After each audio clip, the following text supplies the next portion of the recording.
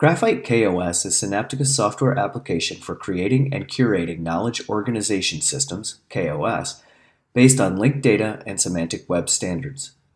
KOS created in Graphite are stored in the backend RDF graph database, or triple store, OntoText GraphDB. With Graphite, you can quickly design, build, and manage enterprise knowledge organization systems using an intuitive graphical user interface. Graphite lets you manage and interrelate all types of KOS and applications. Let's take an overview tour of Graphite 5.0.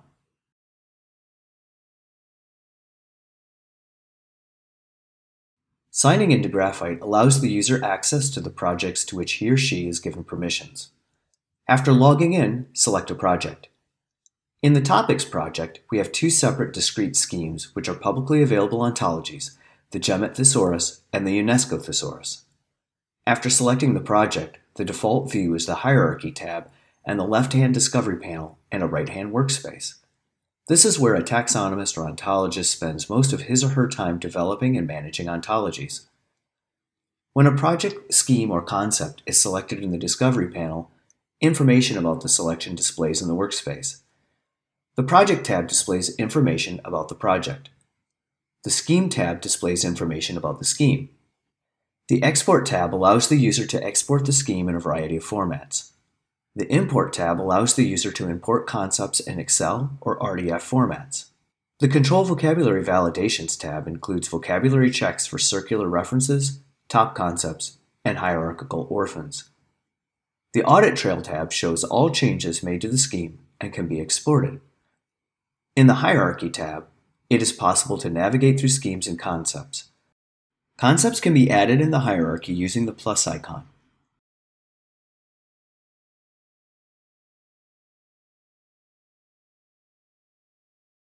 Concepts can be moved in the hierarchy using drag and drop. And relationships between concepts can be created using drag and drop between the hierarchy and the workspace panel.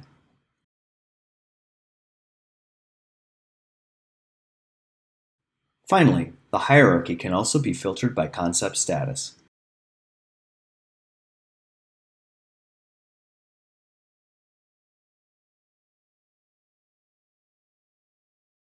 In addition, it is possible to visualize all of the schemes at the project and scheme level.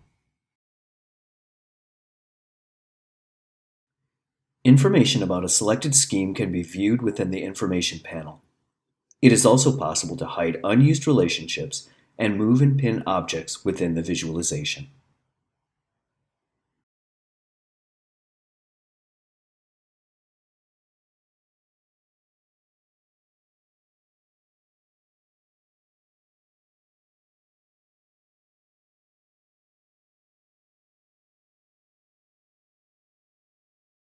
Here, we see detailed information for the concept oxygen in the Concept tab. In the left hand of the workspace, relationships are displayed, including property paths and linked data. Relationships can be created within the workspace or by drag and drop between the hierarchy and the workspace panel. In the right hand of the workspace, we can select resource types, templates, and collections. We can also view preferred and alternate labels, definitions, and any other properties. Finally, we can view the concept metadata, including options like status. New concepts can be created in the hierarchy or in the relationship panel in the workspace.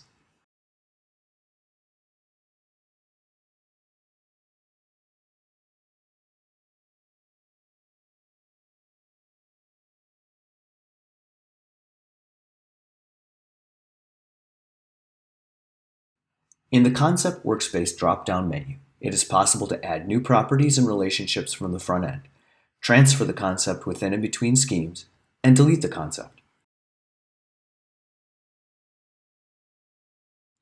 Each concept also includes other tabs. These tabs are the same as the scheme level, but display information specific to the selected concept. It is possible to visualize the concept by clicking the Visualize icon.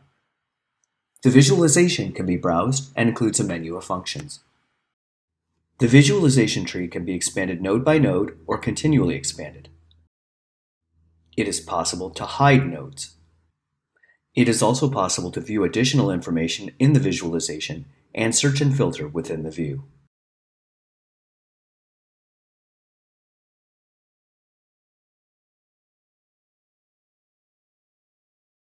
Back in the Discovery panel, we have additional features. The Quick Search box allows us to conduct a fast search without setting any search criteria. The Collections tab shows collections, which are a means of grouping concepts together within and across schemes and across projects. The Saved Queries tab displays queries set up in Search and saved in the Saved Query and Report area. The Search tab allows for the construction of advanced searches based on selected criteria.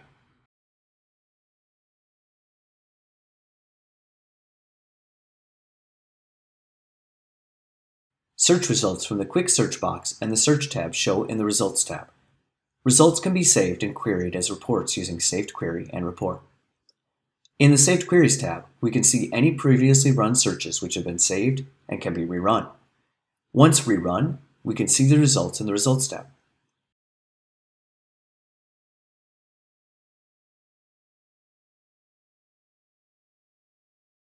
Results can be viewed in a grouped view or as a flat list. We can see the original search parameters in the Search tab, which can be changed and rerun. Saved query reports which have been downloaded can be viewed in the Report History tab. They can be downloaded again or deleted. Once a query is saved, it can be scheduled to run and sent to recipients in the Scheduled Tasks admin area.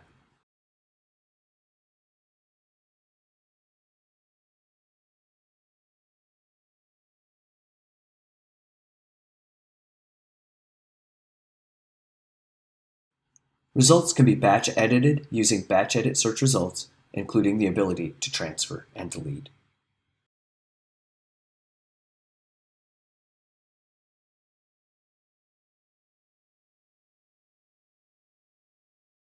Administrative functions, such as the creation of projects, schemes, and properties and predicates, will be covered in subsequent videos. However, in this video, we will briefly cover the user and group admin area. In User and Group Admin, it is possible to set up individual users, upload a batch of users, and create groups with differing scheme and project permissions to which users can be assigned. In each group, the user members and project and granular scheme permissions can be viewed.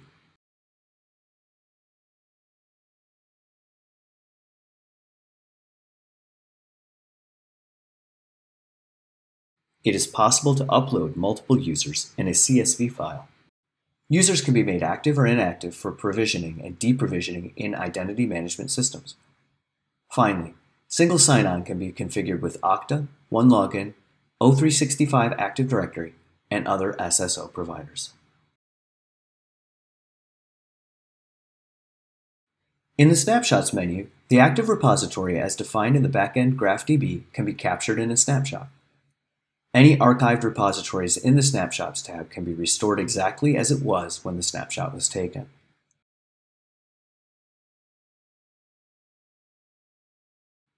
It is also possible to create versions for archiving and restoration at the scheme level.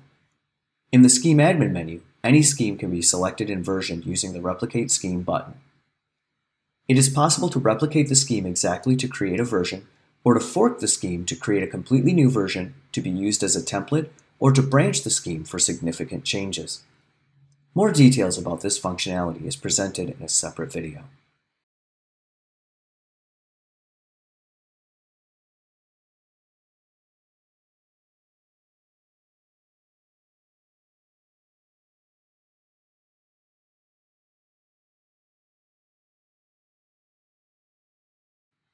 We've gone through a very brief, high-level overview of the Graphite 5.0 UI, Synaptica's user-friendly ontology management system. Subsequent videos will go into more depth on all of the functionalities shown, including all of the administrative areas displayed in the main menu, and how to set up namespaces, templates, schemes, users and groups, projects, scheduled tasks, and maintenance.